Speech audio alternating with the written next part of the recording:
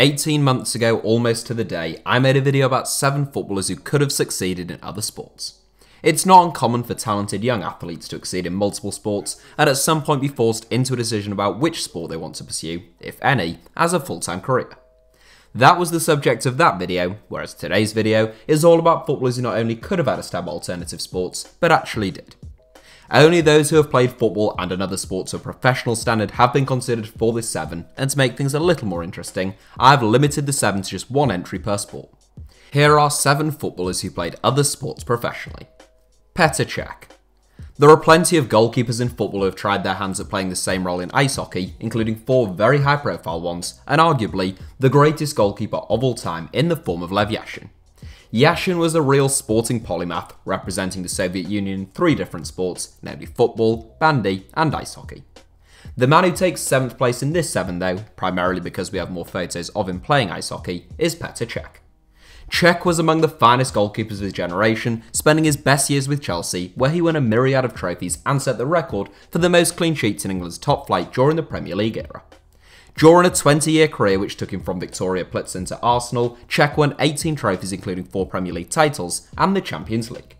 The 37 year old hung up his gloves at the end of last season, returning to Chelsea as a technical director and performance advisor, in addition to stepping into the ice hockey arena with Guildford Phoenix. Cech was an ice hockey fan as a child, and he chose the number 39 jersey when he joined the second tier outfit in honour of retired Czech goaltender Dominik Hasek. The nine-time Czech Footballer of the Year won the Man of the Match award in his debut and won the division's Player of the Month award for January 2020. Raich Carter From the late 1800s up until the 1950s, there were many outstanding English cricketers and footballers who played both sports professionally.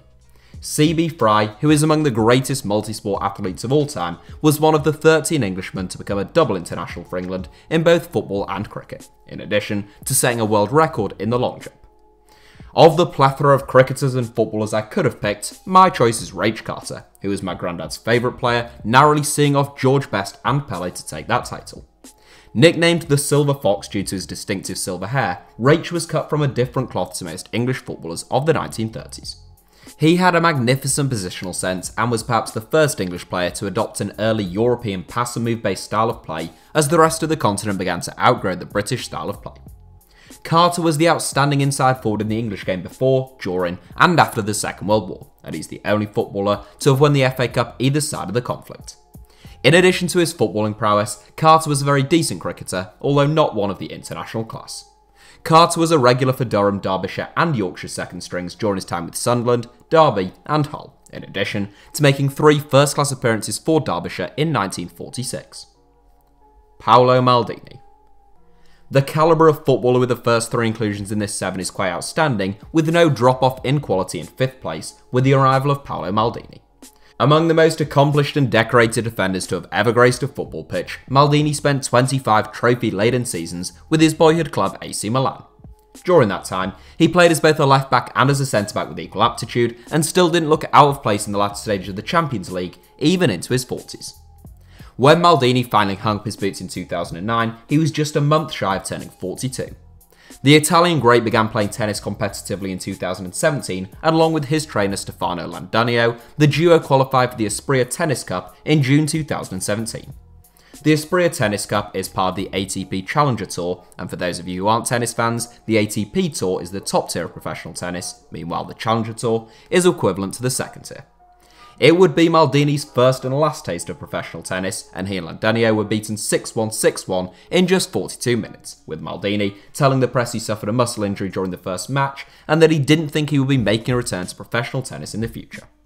The 51 year old did say he'd be keen on facing Roger Federer though, so maybe that's a fixture to look out for. Clive Allen. Former England international Clive Allen was a bit of a journeyman centre forward who played for seven different London clubs, in addition to the likes of Manchester City and Bordeaux, and was often very prolific. Allen is probably best remembered for his time at Tottenham Hotspur and particularly the 1986-87 season in which he scored 49 goals, bettering Jimmy Greaves' best ever campaign in North London in a record yet to be beaten even by Harry Kane. Allen ended his career in 1995 following a brief stint with Carlisle, and in 1997 he had found a new sport. The then 36 year old joined the American football team London Monarchs of NFL Europe as a place kicker, who finished 6th out of 6 teams in the NFL Europe that season.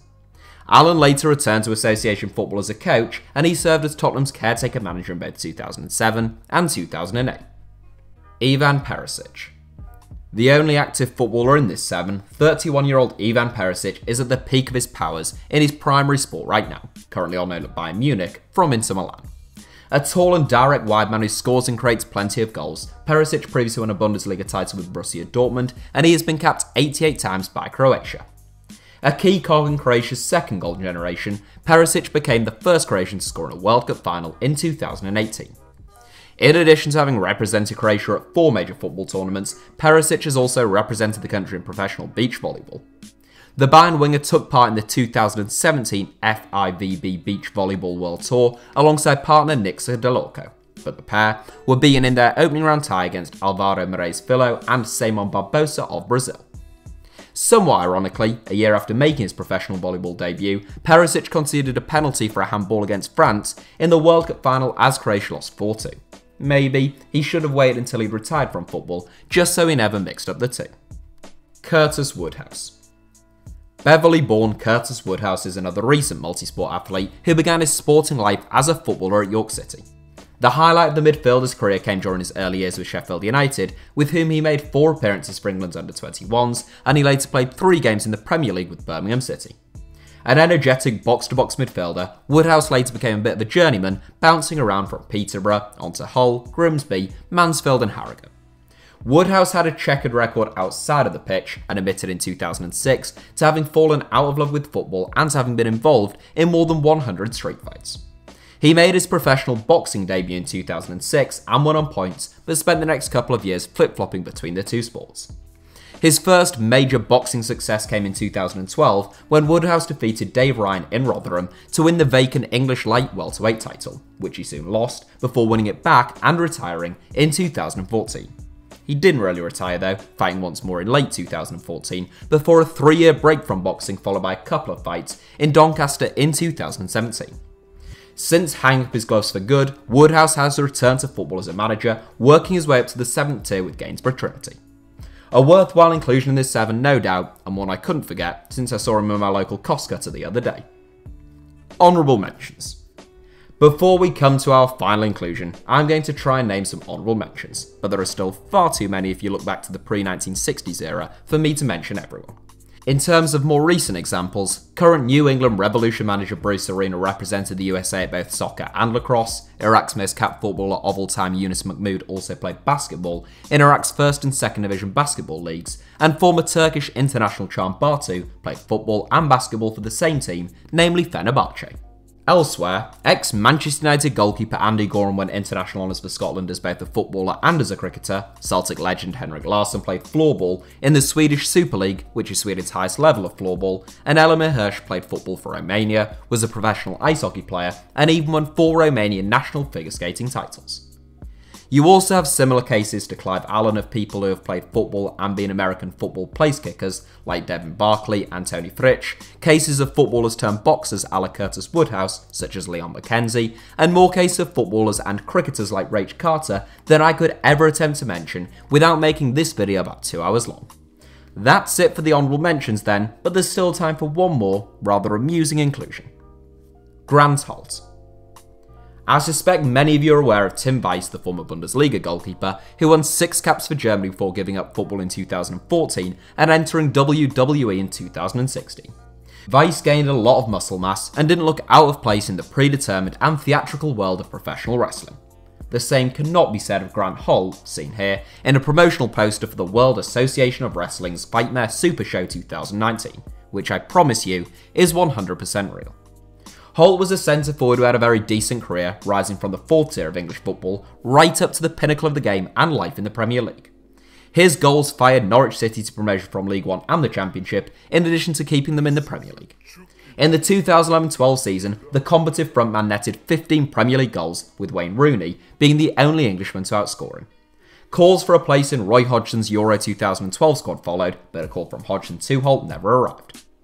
He scored 8 goals the following season before dropping back into the Championship with Wigan, and he subsequently became a journeyman who could never quite rediscover the fine form he displayed in Norfolk. In his professional wrestling debut, Holt won a 40 man Royal Rumble to the shock of absolutely no one. That's it for today's 7. Thanks for watching, give us a like if you enjoyed the video, and obviously make sure you're subscribed to HITC Sevens. Also, if you're watching on mobile, just try tapping your screen now. Apparently that is sometimes required to bring up our little subscribe button and a couple of other videos that YouTube thinks you might enjoy.